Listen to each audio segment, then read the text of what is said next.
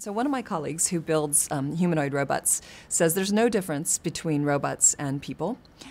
Uh, he declares that, you know, I am a robot, right? So, you know, therefore it's proven people and robots are the same. Okay, well, that's based upon his belief that we are just, uh, you know, a set of mechanisms that are determined by their material properties. And he recognizes this problem with his belief, which is that.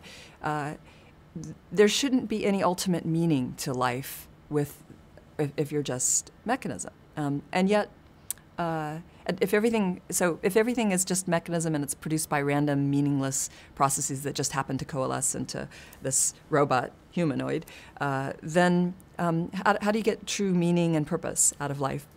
So there's there's a, a discrepancy between that belief and the way that he lives his life, and he recognizes that when you uh, believe that we're all just random, uh, purposeless processes that happen to coalesce into some complex configuration, uh, then you then you have a real problem explaining any greater purpose. You have to basically decide that it's an illusion, uh, or you're deluded in some way. You have to add on a lot of other explanatory baggage to account for the way that you live, because most people don't live consistent with that belief.